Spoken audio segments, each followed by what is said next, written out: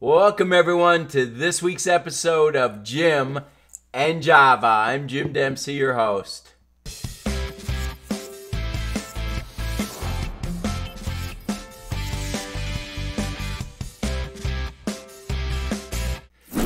Well, welcome everyone. It's good to be back this week with you and to discuss your fundraising questions and make an attempt to help you as much as I can. Uh, you are part of a growing community of nonprofit leaders who are trying to make a significant difference in our world and even possibly in eternity. And we just thank you for joining us each week. Uh, this is helpful not only for me, but also hopefully helpful for you and for the rest of our community. So we rely on your questions and always enjoy the questions that I get because I find often that the questions I get are some of the same ones from different people. So your questions uh, may also be very helpful for the rest of our community. So let's dive right in today to our question for the week.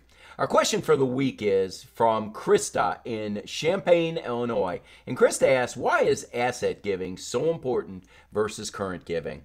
Well, Krista, thank you so much for that question. And I've got a number of videos out there that I've done on estate planning, estate design, plan giving. Uh, we did a very popular video last year on the CARES Act. We also have addressed uh, planned giving and especially one of the hottest items, which is a donor advised fund, often referred to as a DAF.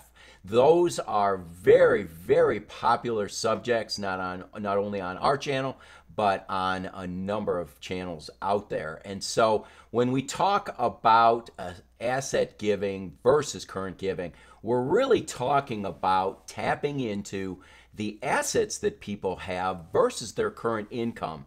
Now, most recent statistics that I've seen is that the average individual has anywhere between three and five times their current income in assets. So, in other words, if someone is making $50,000 a year, they have the capability of making a gift of 150 or even $250,000 based on the assets that they have.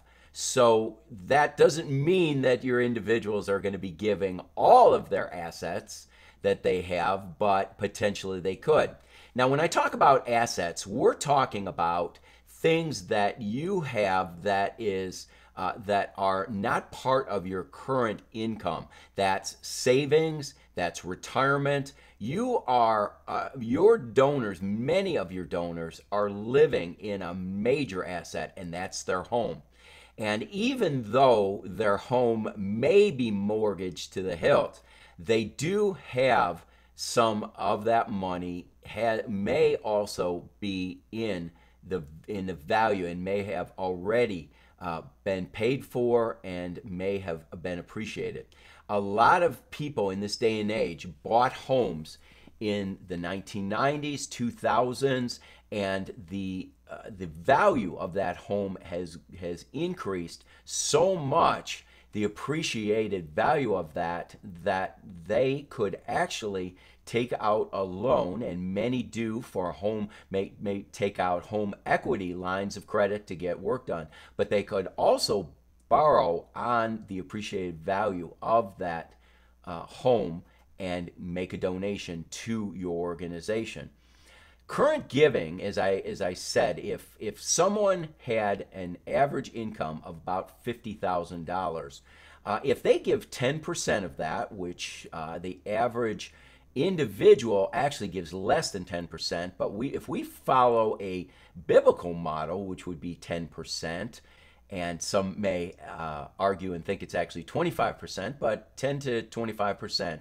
of $50,000 would be $5,000. So an individual who makes $50,000 is probably giving to a charity or multiple charities about $5,000. And uh, in the United States, uh, average giving is really probably more 2 to 3%. So 5,000 might be a maximum. So if you ask someone who makes $50,000 for a gift, in all likelihood, you're probably not going to get more, much more than $5,000. May get $10,000, but not much more. However, if you ask someone to consider giving a gift out of their assets and not out of their giving, using the principle that I mentioned earlier, that a $50,000 person could have three to five times more money in assets, somebody could potentially give you a gift of between 150 and $250,000. Now, once again, as I said, that would be giving of their total assets.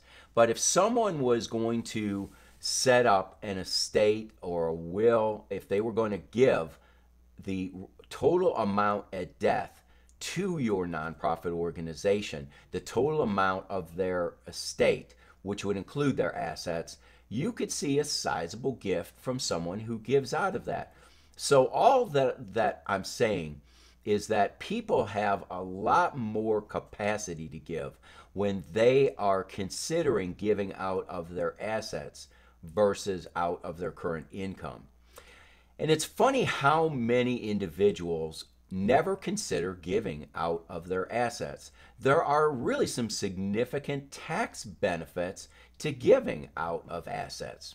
Now, it's important that you would send them or encourage them to go to a tax advisor or an attorney for advice on these kinds of things.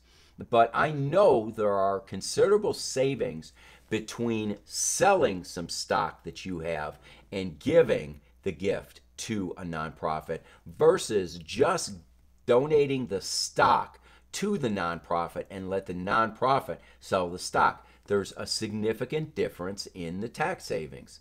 And so little things like that are so important. Now, I mentioned earlier that there is a tool now called a donor advised fund. And if you're interested in hearing about a donor advised fund, I've got a video right up here that would allow you to hear specifically about a donor advised fund. And I'm getting ready recently, uh, I'm getting ready on April 13th to do a video, to do a webinar with the FundEasy Corporation, which is an event software. And I'm going to be doing a webinar with Eric Fleshhood of the Crew Foundation, and we're going to be talking about the benefits of a DAF. So if you're watching this before uh, April 13th of 2022, please look for that seminar because I think you're going to get some great benefit from that. But Establishing a DAF, establishing a donor advised fund, is one of the most creative and powerful tools to take assets, move those assets into a fund that is much like creating a foundation, but it's actually as simple as setting up a savings account. But the money that goes into a donor advised fund is that money is like making a donation at the time it is you get a tax deduction for making a gift to the DAF, but you based on the organization whether it's Fidelity, whether it's National Charitable Foundation, whether it's the Crew Foundation, those organizations uh, allow you to have a say in where their money is given, and that's money that goes to them from you and to your charity of choice. So you can give to your charity of choice using a DAF, get an immediate tax deduction. You could get make a gift to a DAF on December 31st, get a tax deduction for that gift, and then make gifts to your favorite charity over the next 12 months, monthly, quarterly, annually, and you have already taken your tax deduction, but you can give that to the nonprofit through the DAF over time.